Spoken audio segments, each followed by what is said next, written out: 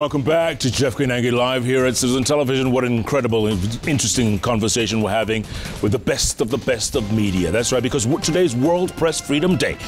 We'll talk about our freedoms here in Kenya. As much as we think we have all the press freedoms, uh, sometimes we're getting our, we feel we're getting our wings clipped.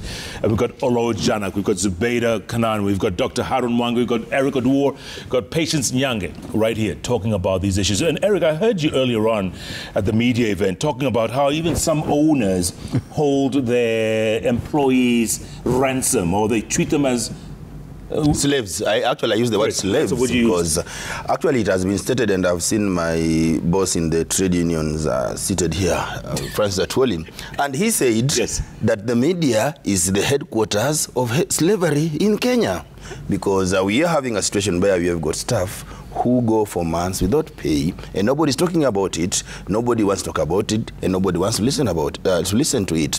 So what we are saying is this: that for us to have meaningful discussion about press freedom, let us have these internal issues sorted out. Because you can't go out there and say we have press freedom, but you haven't paid this person because economic freedom is very important as much as press freedom is also important. So let us say.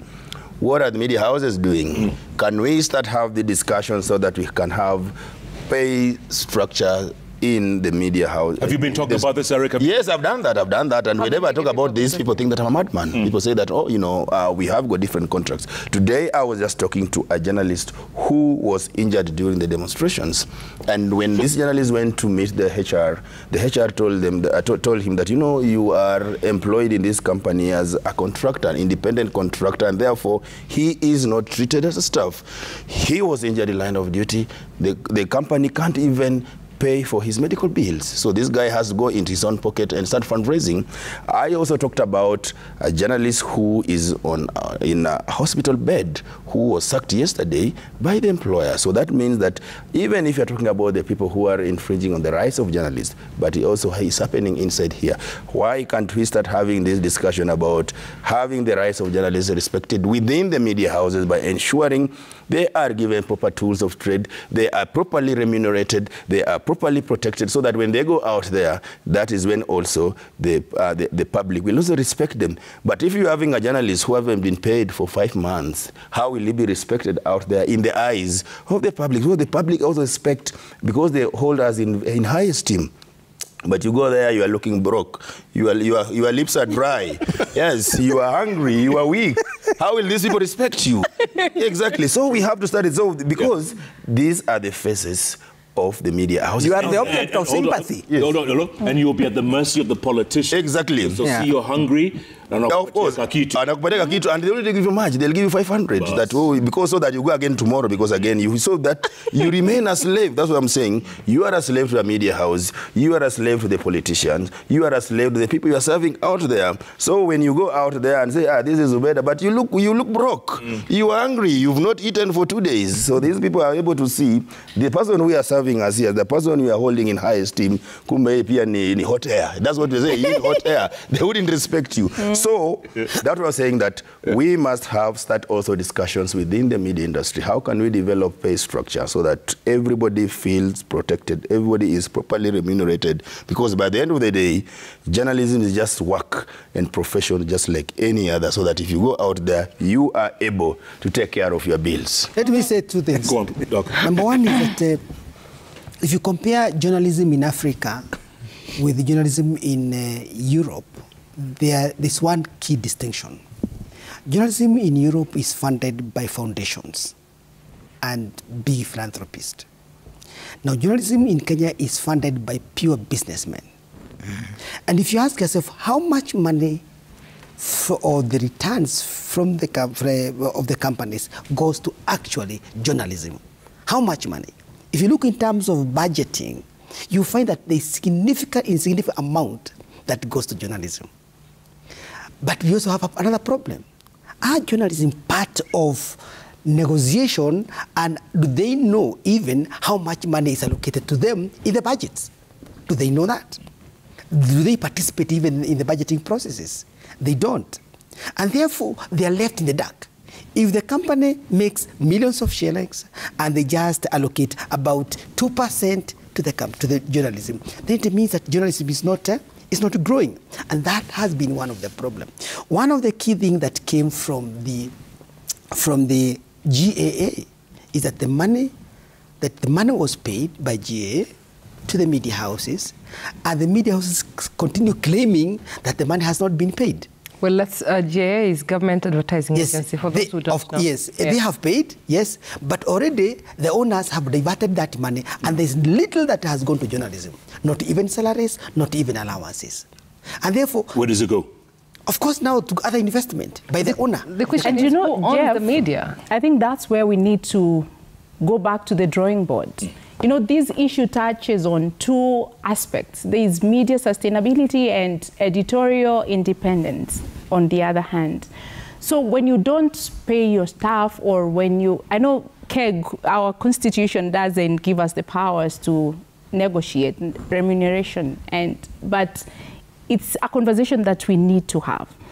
So when you don't pay your staff or when you retrench your staff, you know, because most we've lost hundreds of journalists in the last couple of weeks.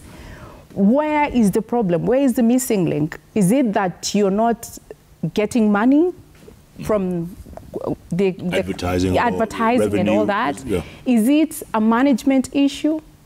We need to sit down and analyze and see where the gaps are. Because you can't just say, oh, we don't have money. You know, sometimes the question that comes up is that, oh, but we saw a commercial the other day, you know, so how do you tell us? How do you tell us that you don't, you don't have money to pay your staff? Mm. So we need to sit down and look at these conflict that is uh, eminent in our newsrooms right now to see where the problem is. Is it a management issue? How do we handle it? And Kenya Media Sector Working Group has been going round the newsrooms trying to speak to the heads of those newsrooms or media houses to try and identify where the problem is. On the other hand, there is the issue of commercial interest and editorial independence. So what are our priorities as a newsroom or media houses? What do we stand for? It takes us back to the conversation we had earlier. Who are our clients? Who should be our priority as media houses?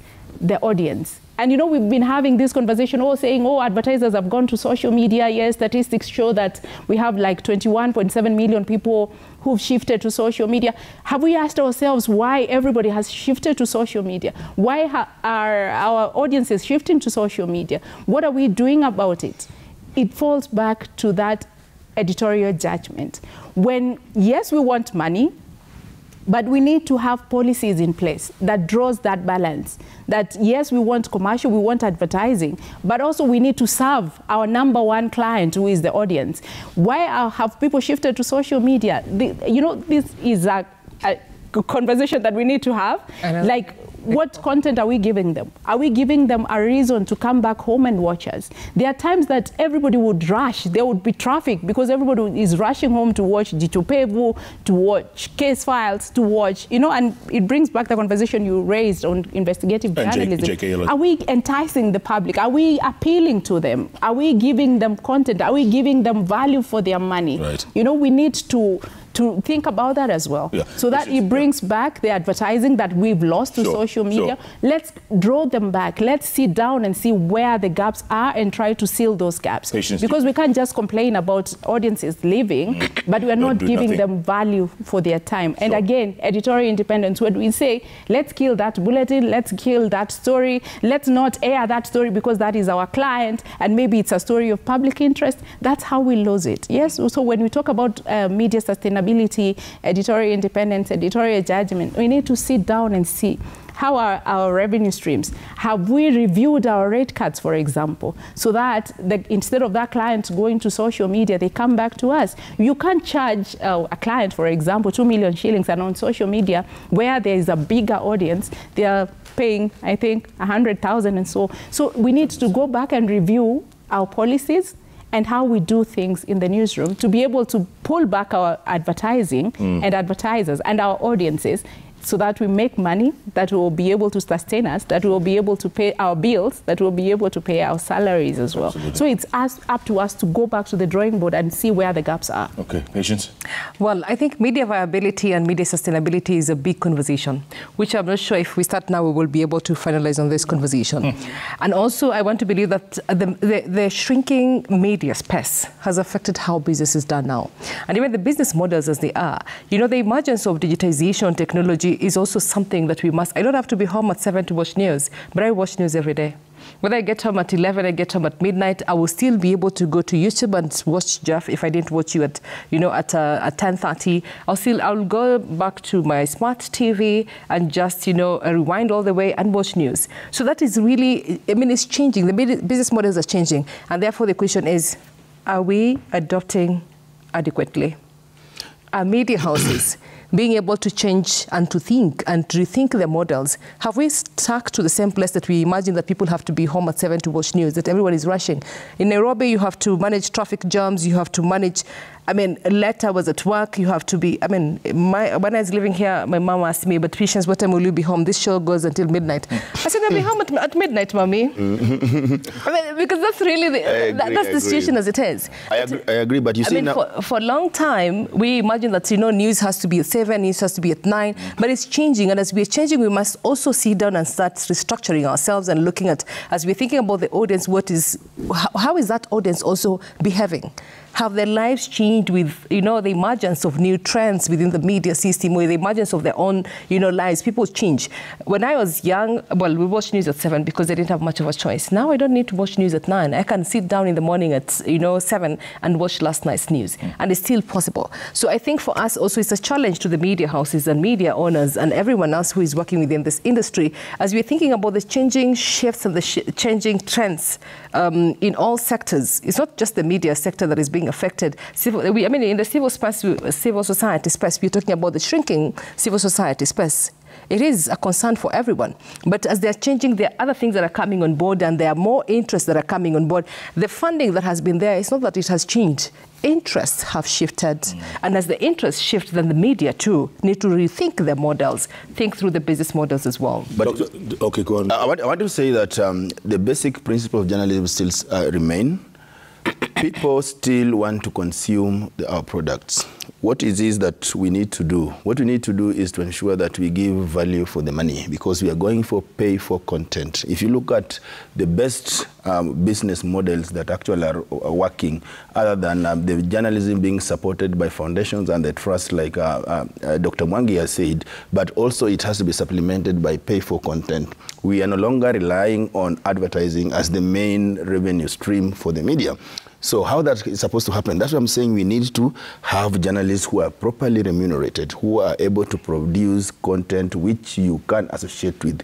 Content that if you are told to buy, subscribe, you will buy and you will get value for your money. But we've covered a, situation whereby nowadays if you go into newsroom, newsrooms are literally empty. There are no people there who can collectively because of course there are journalists there but it's come a situation where, where, where you need quality. And quality you can't expect one journalist to do 10 20 stories in a day. You will compromise quality. You need a journalist who can sit down and dedicate his or her time in a story. You produce a story that if you put it on a paywall you will be able to get your investment in that story. But we are getting a situation whereby we are coming with different models where we want to exploit journalists more then pay them less. But instead of having quality journalism in newsroom who will get you a return on investment you invest in a story that if you put it out there even me i will be happy to pay this is the question i ask the media uh, managers if you were to buy this story, will you buy it? Will you subscribe to it? But why are you having? You're having it because this is what you can do. You've refused to invest in investigative journalism. You are doing a story that even I'll get it on the blogs, I'll get it on social media for free. Why should I subscribe to it? But we are going to, uh, to an era whereby you pay for the content and that is the model that actually has been proven that is working elsewhere you give me content that i can be happy with content that i'll get value for my money and i pay rather than having content that is paid for by advertisers. So that is the shift that we have. Dr. Mwangi. yes, yes, I, I agree that uh, the content is the king. And I also agree that uh, globally, the returns uh, on, um, on media has really gone down, actually globally, by 45%. That's too much. A combination of the returns for nation and uh, standard has gone down by 45%. That's huge. That means that uh, they have to retrench, and uh, the newsroom now are all black haired. You can never see a gray haired man or a woman in the newsroom, meaning that there is no mentorship that is now possible within the newsroom. And therefore, the content has also suffered. And once the content suffers, it means that it is the it is it is the, it is the, the consumer really that doesn't get what he really wants, and therefore journalism must be constructive. And there's a very very strong relationship between journalism, sustainability, and construction and constructive journalism. That means that the content my brother is talking about must be the content that speaks and resonates with the citizens. And I said earlier that it is not just the content that is of public interest, but it is a content that the public is interested in. That should be the focus that uh, we should give to the new model of, of journalism. Yeah. The community journalism is key. And of course, as she said, today we have seen a very narrow distinction between the editorial and commercial. Hmm. So that anybody now, if you want to go back to the university, you go to Strathmore to study business. You are chief editor for Media House. Why is that? Why is it so? Because you really have to look at how do I sustain the business. Initially, these two people could not meet, or these departments could not meet. Okay, there was kind of tension which was held that time, but now the the two the two the editorial and business are just like operating like one, and therefore that independence that my sister is talking about is completely narrowing. And therefore, the content is highly defined by the commercial return, that particular content. So that is a model that we are looking for. Oh, Lord Janak, let me ask you this real quick. Um, is that, does that mean we're becoming redundant? Like 5, 10, 15 years from now, we won't be here? No, no. I think I think if if if the media th- there's a rethinking. You know, uh, uh, let me just give you, for example, when devolution set in, when the new constitution, you know, uh, you know, set in. I had a huge argument within the media industry, and I was then at the media council, and I said uh, we had a, a- we had a big media conference, and I said, guys, first within the new constitutional framework, the media must respond to the changed governance environment devolution and so on. I mean, there are people who laughed it off. So we remain Nairobi centric, even in terms of how we report. We are talking about traffic in Nairobi, which the guys in the village don't care about. They have never seen a car. They, they are actually, they are actually, the, the, the road, the road has uh, cereals, you know, drying, and they haven't seen a car um, for, for the last uh, two weeks or something. Now, we report, the, the mainstream media, the print, for example, are covering the counties in two pages, a brief here, a brief there. Who will buy that kind of paper? See that? Eh? So, so we have lost it in terms of responding to certain changes that, that have come. For example, right now, if we are talking about, I, I, our colleagues here have talked about, uh, we, we can't say that the media does not have money, or the media houses. In many, many other countries, if you make profits, you must be able to, to keep money for, for a rainy day.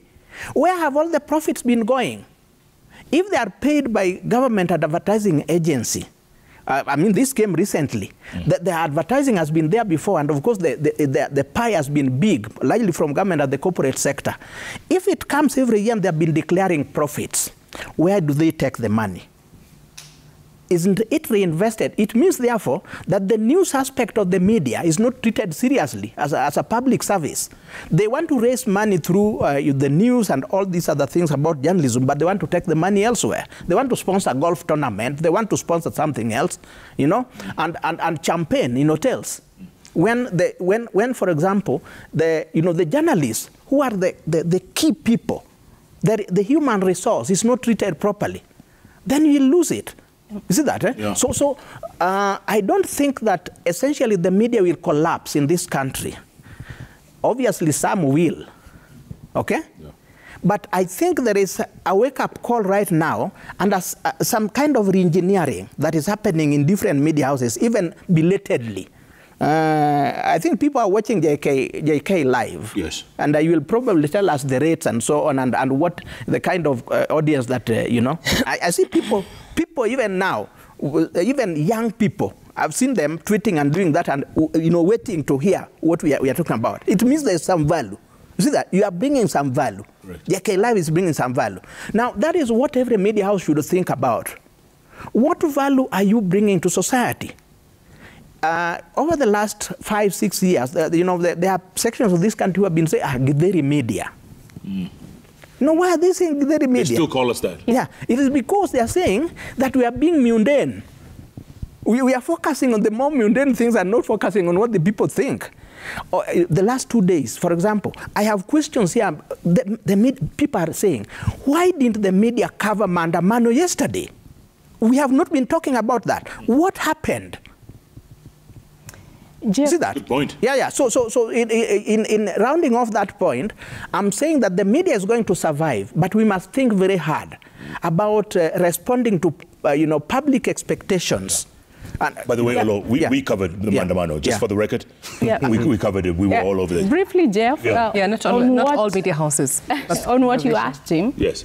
I think as media, we need, you know, right now, news is consumed on the go. As she said, she won't rush home at 7 o'clock to watch news. So it's up to us as media houses to curate content that can be consumed on the go without waiting for the audience to come sit down and watch news on TV. Right. And you know, we have the advantage of technology. You know, you can cut short clips and share short stories and share. And i'm happy that many media houses right now have digital um, uh, departments you know? So instead of cutting clips from what has been discussed here on jkl why don't we identify a team that will uh, work on stories that will appeal to the masses out there instead of just posting what has aired on mainstream media. So we need to rethink, we need to embrace technology and use it to our advantage. And that comes with the kind of stories that we share out there. You know, we're, we're in competition with social media right now. People are rushing there because they get different stories, they get in, interesting stories, you know, that excites them throughout the day. So why can't we do the same? Let's embrace technology. Let's curate and diversify our content. You know, and you know when when you post a story there, it should be to the point and something that one can click and get all the information, get all the education they need. but, But- we but- can't just sit and expect everybody to come back to, to watch us on TV. Let's let's ensure that they are watching us on the go. And Jeff- it's about Jeff- how Jeff- we package our, uh, our stories Yeah. and the kind of stories that we share on social That's where we're having a problem because it has always been the game of numbers. So even if whoever is going on digital platforms, going on uh, to the uh, social media, is chasing non-existent numbers. What we need to do is let us add value to the society. That is what will help us. Mm. The media that will add value to the society, that is the media that is going to survive. Mm. But the media that is face is chasing non-existent numbers on digital platform and social media is facing problems. What we need to do, let us invest in quality journalism. Let us invest in our journalists to produce content. That is what people are looking for. So that even if patients leave this place at midnight, but she's looking for the quality content from JKL Live, so that even if it is 2 a.m., she'll watch it. still watch it. But if you are chasing non-existent numbers, nobody will follow that. So that, the, the that's, fact that is is my point. The world has shifted to social Yeah. media, and we need to live to, to that. That's what I'm saying. you Even know? if you're going to social media, Madam President, yes. These people are looking for quality content there. Yes, and quality, it's not about factual, it's not yes. about the numbers. It's about the What you're content. sharing, yes. Are you adding value mm. to my life? Why should I watch your show? Why should I consume your content? Mm. That is the question. Speak, So- yes. What- Speaking of what- quality, speaking of quality, let's see what our audience thinks. Okay, Let me go to the magic wall uh, and see what they think of this They show have been there. and of mm. you guys. All the competition, they are still. I see there. Uh-huh. Marco Seno, Doctari says media fraternity in Kenya has made tremendous gains in ensuring freedom of press compared to our neighbors. More effort must be on safety to avert what we saw in maandamano. A country with no media visibility is a dead country. Mm-hmm. Agreed. Agreed? Yeah. Mm-hmm. Yeah. He said that Mboya Odhiambo says, great conversation on media freedom. We need media and information literacy to empower the public to understand and appreciate the role of the media. Mm-hmm. Agreed. Steve Karimi says Kenyan press is not without blame. Ethical reporting is a foreign concept to our journalists. Many press people sell their souls to the highest bidder, especially when it comes to political analysis and reporting.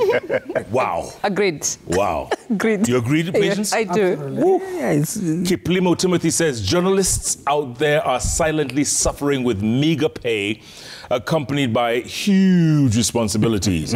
Where will objectivity come from if you are hungry and angry? We should have a standard pay for journalists. Eric, that's what you're alluding to, right? Exactly. When you're looking dry, your lips are dry. yes, you are and you bro- you've not eaten for two days. Correct. An angry Yes. journalist is a dangerous journalist. Exactly. Stanfield Moral says Kenyan journalists are in a situation of damned if you do, damned if you don't. Mm-hmm. They become the enemy or friends depending on what the consumer wants to hear or read. Mm-hmm. Hmm. Mm-hmm.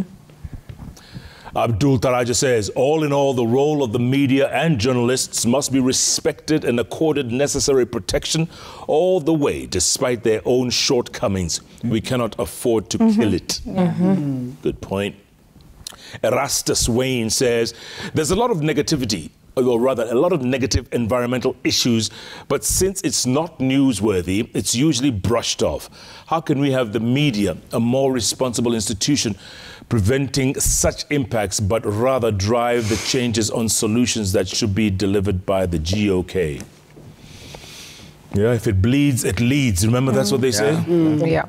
Khalid Kibet says there's a thin line between the media being objective and impartial and the media interfering with active investigations.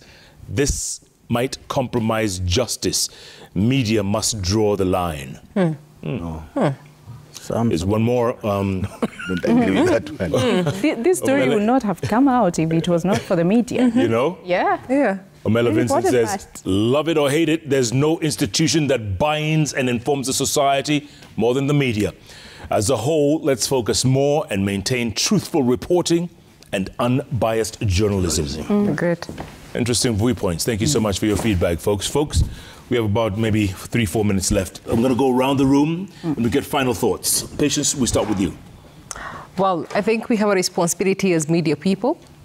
Uh, res- rights come with responsibility. We are in an industry or in a business that has a very key role to play in the society. And as we do that, we must do our work ethically. We must do our work with uh, decorum. We must be able to observe the code of ethics that guides the work that we do. On the other hand, we demand respect. We demand to be respected in the work that we do. We demand protection from state organs, we demand protection from employers, uh, from media owners, and collectively here with you, starting with you, you must make a commitment to see that this conversation continues. It's not a one-off conversation that happens because we're celebrating World Press Freedom Day, but let's ensure that as we report about everything else and anything else, let's also see that the conversation around journalism is also a conversation that is being done across the media houses. Absolutely. Do you make the commitment? yes, indeed. Yeah, absolutely. I agree. Totally agree. Eric. So Jeff, uh, Jeff, briefly two things. Number one, uh, let us protect the gains that we have. Let us uh, improve uh, what on uh, what we have. Let us not destroy what we've already have. Then number two, media employers, please pay your journalists. Just like that. Yes, that's done. Short and Dr. Haran Mwangi. We must appreciate the centrality of media in our society. We must appreciate that media is an important institution in building our democracy and in protecting human rights as well as development. We must appreciate media. Absolutely. Appreciate media. Zubeda. kabisa. Niseme kwanza, kwa nini hatujaongea Kiswahili? Si umeongea, si uongea basi. Kwa nini hatujatuma salamu? Eh, si ndio? Hey, Wameru watafurahi. Eh? Lugha ya taifa. ni lazima tusimamie uhuru wetu kama wanahabari. There's a lot, okay, wacha nirudi tu, to be proud of and to celebrate. We've come from so far. There's a lot that we are doing that will not be, uh, be able to do a while back. So there's a lot to celebrate, lakini vile vile ni muhimu tuheshimiane. Kila mtu atambue haki zake za kimsingi ni gani na atekeleze haki hizo bila kukiuka haki za mtu mwingine. Vyombo vya habari vinahitaji kuheshimiwa. Wanahabari tujizatiti katika kazi zetu. Let's train our journalists especially kama hivi mambo ya kukava mambo ya maandamano na kadhalika, tuhakikishe kwamba we investing in our journalists. Let's train them, let's empower them, let's create a safe space for them so that they feel at home, so that they give their all, kwa sababu kama haujapewa ile motisha hautawekeza katika kile chombo. Kwa hivyo let's invest in our journalists, let's fight for our space, let's stand for the truth and let's review our policies to see uh, that we have a fallback plan. When all these things happen. Unajua kuna ile mtaenda mjitetee that like they were saying oh, kwa nini journalist mlikuwa kwa gari ya wanasiasa na kadhalika. Let's have policies that are clear because there is a report that was released. Okay it will be launched very soon um, through partnership with Kenya Editors Guild yenye inaangalia the policies that we have in our newsroom. Do we have policies? Do they exist? Do the uh, staff know that there are these policies that guide them or should guide them on what they do or what they stand for. So there's a lot to learn from everything that is happening. So let's go back tuangalie tatizo liko wapi and review and improve where necessary. Lakini la msingi tuheshimu haki na uhuru wa vyombo vya habari, na nawavulia kofia wanahabari wote nchini kwa kazi ambayo mnaifanya. Sasa tuma salamu kwa watu wenu wa Meru. Oh, antubetu bami.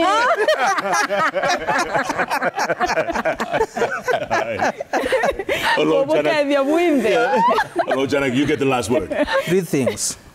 One is that this is a very important day, and I want to salute all the journalists and especially the, the, the, the, the Kenya Correspondence Media Network that took the marking of this day to the counties. And about 15 counties today, they were able to sensitize. If you are talking about uh, media literacy, it was out there in the counties, and we saw on national television that it was marked across. Yeah. So a salute to all the journalists out there in the counties that did something towards that.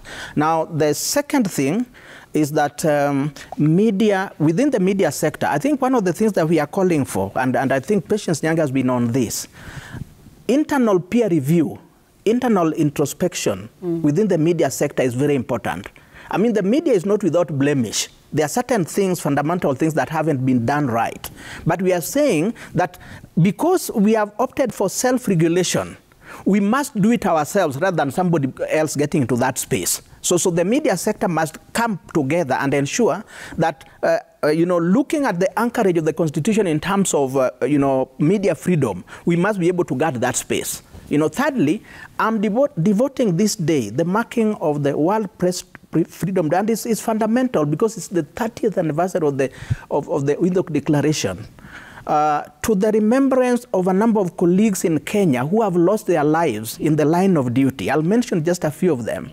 One is Francis Nyaruri, who was killed uh, you know, in June 2019, and whose, you know, the, the, you know, the, the, the issue has not been conclusively dealt with through the courts and so on, and the suspicion was that uh, security agencies were involved in the death. We have the case of John Kituyi, who was killed in 2015 in April in, in, uh, you know, in Eldoret. We have never had a conclusion uh, or conclusive investigations into those kinds of cases. We have the case of Bernard Wesonga. We have the case of, of John Marsha. We have the cases of a number of journalists. I'm devoting this day to remembering them and many other journalists who also suffered even during the Kanu regime. You know, because then, uh, if we are complaining about a narrowing civic space, or assault on the media, then we expect that many more people could suffer. So we must remain vigilant. Absolutely. Yeah. Must remain vigilant. Olo Janak, Zubeda Kananu, Dr. Haran Mwangi, Eric Odwar, Patience Nyange, Thank you so much, folks. Thank you. Nimekuletea fomu ya kuingia keg. Eh? Eh, Sawa. thank you for hosting us. Nashukuru. Yeah, Thank you so much. so folks. much. Really appreciate it. Some wise words from some pretty wise people. Always remain vigilant. That's why they call us the fourth estate, right? always remain vigilant. Thanks so much for watching JK Live. Remember, all- every Wednesday it's all about those three letters on the keyboard that follow each other. JKL. Check on your keyboard. JKL. JKL. Always follow each other. Yeah. Take that to Thank the E KEG. you. Who knew that one day I would tweet about uh, uh, my competitor? Hii ni kitu ya is kujivunia. You see that? Sio hujuma. Ni hujuma. Hebu nitetee. Nitakutetea. Mimi ni mtetezi nitakutetea. Jeff, you need to talk about uh, uh, hemorrhage in the media and transition. Perhaps that should be the next The topic. next because- topic is when you guys come next. Yeah, Yeah. because Next time we will you, also you will soon be treated as a media dinosaur only. internally here because of the young people that are around you. Thanks so much for being a part of the show, folks. Good night, good luck. God bless Kenya and our media. All right.